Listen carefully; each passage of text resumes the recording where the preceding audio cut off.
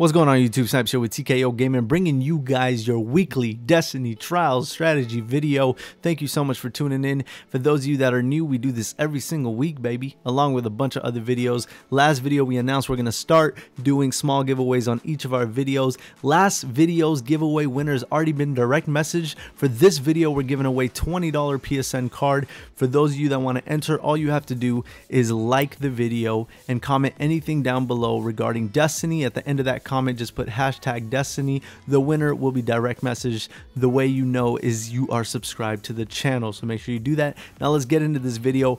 Burning Shrine, a classic, classic Trials of Osiris map. I'm going to quickly get into why I'm using a hand cannon and a shotgun. Well, first off, the hand cannon I'm using is a Eyasluna. Finally got one to drop. Horrible drops. It does have rifle barrel and sure shot as the sight, but honestly, the two perks are luck in the chamber and triple tap, which in the sweat game communities, it's just not two good perks. But Overall, not a bad gun if I didn't have anything else to use. My palindrome is still a little bit better Anyways, so let's get into why I'm using this. Well, this map is not too big of a map. Now, it does have many lanes for snipers to use a sniper rifle, but you also want to keep in mind that you don't want to have all three of your team members running a sniper rifle. You want to make sure you have one at most two, but I still recommend only one good sniper on your team. The other two should be running a shotgun. You can pair that shotgun up with a pulse rifle like Clever Dragon, as you guys know, great pulse rifle. Grasp of Malok is good. Blind Perdition is also another good one.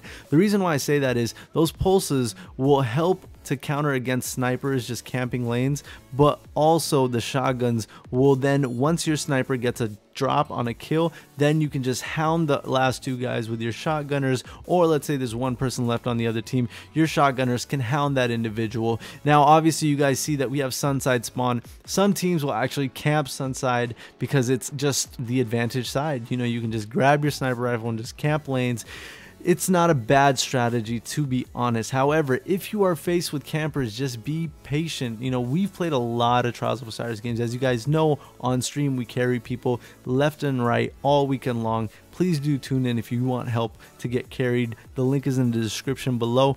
But we don't run into too many campers, but when we do, you just gotta play patient. Now, if you have a good sniper, your sniper can get those picks, but let's say you don't have a sniper, just hold the middle of the map. Don't poke those lanes. Let time expire. The flag still spawns inside, so that team still has to come inside sooner or later, right? So you gotta play patient. Don't be in a hurry, guys. Remember, Trials of Osiris, you gotta win all the nine games games or whatever with the boon, seven. And once you get Lighthouse, that's all that matters. You don't want to lose on your last game or you don't want to be going on your card without a mercy. So keep in mind what we're doing is we try to have at least two people stick together throughout the map. All right, you want to make sure two. Why two? Because let's say you get in a gunfight and you get somebody absolute one shot. For example, boom, perfect. That teammate that I had went in, died. The the other guy was one shot. I threw a grenade following up and it got the kill. Now you want to make sure you're paired up because look, even in circumstances like this, I was able to get the res. I knew that when he shoots a rocket, I may die. I was hoping my overshield would tank it, but he still survived because he was at in that invincibility phase when you get revived. And it's just a good idea to also run those quick revive chest pieces and helmets. Now, I know we're not doing it. It's okay. But if you guys want to, it's not a bad idea. Also, keep in mind is right now we know that we have supers and they don't. We want to close out this game being up 4-1 on the team. Don't let the other team camp back and use Scory and whatnot to get their supers and just own everything. So I really hope these quick tips helped you guys out. Remember, subscribe, like the video, and just drop any random comment down with hashtag Destiny to possibly win the giveaway. I love you guys so much. Thank you guys so much for tuning in. We'll see you in the next one. Peace out.